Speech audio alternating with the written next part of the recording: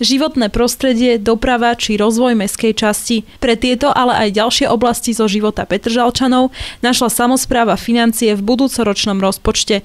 Rozpočet meskej časti Petržalka na rok 2018 s príjmami a výdavkami predstavuje čiastku takmer 36 miliónov eur. Ja som samozrejme veľmi rád, že rozpočet prešiel jednomyselne málo, ktoré mestské časti alebo meste sa podarí takéto niečo. Boli to mimoriadne ťažké rokovania, tie ambície poslancov v predvolebnom roku boli mimoriadne tam, kde predtým sme sa stretali s požiadavkami poslancov radovo 10 až 100 tisícoch, teraz to bolo v miliónoch. Niektoré náklady, ktoré musí mestská časť dať, nezáležia len od nás. Napríklad len zvyšovanie alebo dohoda e, odborárov školských 4 e, plus 2, 2 národové odmeny znamená pre mestskú časť už minus 1,7 milióna, čiže ešte sme aj nezačali, sme mali schodok v rozpočte.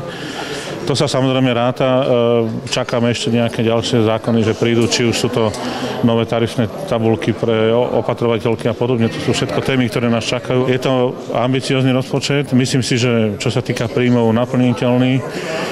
Ešte ste si všimli, že rozpočte poslanci rezignovali na kapitálové príjmy, že ako nálada na predávanie majetku nie je, alebo dlhodobý prenájom. Na druhej strane tých kapitálových výdavkov je to strašne veľa, čiže budeme to musieť vyrovnať. Zarátali sme do rozpočtu už aj príjem tzv. solidarity, ktorú mesto ešte neschválilo. Eh, ja len verím slovám pána primátora, že prvé dva mesiace tento problém zastupiteľstvo v mestskom vyrieši, alebo teda budeme sa snažiť, aby sme to spoločne vyriešili, pretože na tých 800 tisíc mestská časť čaká a vlastne sa to rozmení na tie priority jednotlivých poslancov a teda mestské časti ako také. Jednou z priorít v oblasti vzdelávania je náborový príspevok pre nových zamestnancov. V meskej časti je totiž mnoho učiteľov, ktorí čoskoro pôjdu do dôchodku.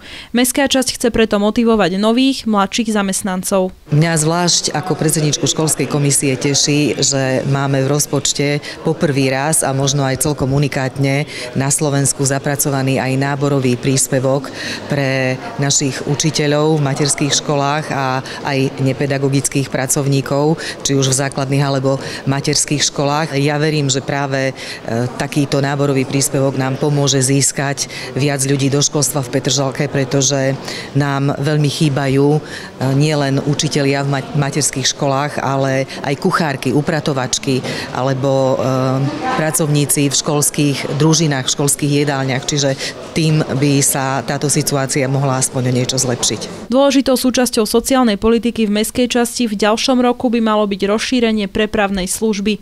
Slúži najmä zdravotne ťažko postihnutým Petržalčanom a seniorom v domácej starostlivosti. V roku 2017 e, bola zavedená prepravná služba, ktorá funguje od 1. oktobra 2017. Momentálne fungujeme s jedným autom, ktoré je upravené, ale e, kým si ľudia na to zvyknú, kým začnú túto službu využívať vo väčšej miere, tak už pripravujeme návrh e, v budúcom roku, aby bolo zakúpené ďalšie auto čiže mali by byť dve plus jedno zo strediska sociálnych služieb by malo zaskočiť v prípade potreby. Tí klienti, ktorí sú momentálne v domácej starostlivosti, že sa rodina vie ešte o nich postarať, je vhodné v tom čase, keď oni pracujú, aby boli zavezení do toho denného stacionára, ktorý funguje povedzme od 8. do tej 16. Samozpráva by chcela v mestskej časti zlepšiť aj životné prostredie a preto plánuje v tejto oblasti v roku 2018 viacero aktivít. Okrem budovania predzáhradiek, kde by mestská časť chcela spolupracovať so samotnými obyvateľmi bytových domov, patrí k tejto problematike aj čistota lavičiek,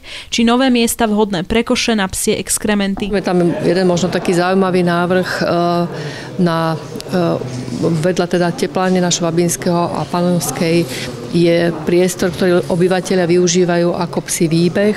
Je to ale blízko nejakej hlučnej cesty, čiže nie je to veľmi vhodné na nejaký park, ale viem si predstaviť, že by to mohol byť park e, pre, práve pre psičkarov, ktorý by bol ohraničený nejakou zelenou protihlukovou bariérou. Je to veľmi hlučný priestor a podľa štatistik, ktoré robilo hlavné mesto a podľa meraní, je to jedna z najhlusnejších e, lokalí. Je tam železnica, je tam, je tam e, veľká dopravná tepna, takže dúfam, že teda toto sa podarí. A potom z hľadiska životného prostredia je tu aj projekt zapustených kontajnerov. Petržalka dlhodobo bojuje s problematickým parkovaním. Finančné výdavky na dopravu, budovanie chodníkov, cyklotrás a parkovanie by mali spolu v roku 2018 predstavovať viac ako 1,5 milióna eur. Financie by sa mali konkrétne použiť napríklad na budovanie parkoviska na Ševčenkovej ulici či na vybudovanie chodníka na Turnianskej a Volkrovej ulici. Mestská časť už minulý minulom roku na základe, na základe iniciatívy jednak starostu, jednak niektorých, e, niektorých nás poslancov e, prijala, prijala rozhodnutie smerom k tomu, aby sa, e, aby sa väčšie sumy rádovo 100 tisícov používali aj na také rozsiahlejšie alebo generálnejšie opravy komunikácií. Tu si treba povedať, že je to spoločný problém s hlavným mestom a typujeme pozemky alebo územia, kde by sme mohli spolupráci s hlavným mestom stavať nové parkovacie plochy. V kľúčové mi ide všetkým v súvislosti s vybudovaním, vybudovaním ďalšej etapy električiek, naozaj aby pri tých zastávkach boli záchytné parkoviska tak, aby tí ľudia predračne mohli voľne prestúpiť na električku a ísť ďalej do MHD.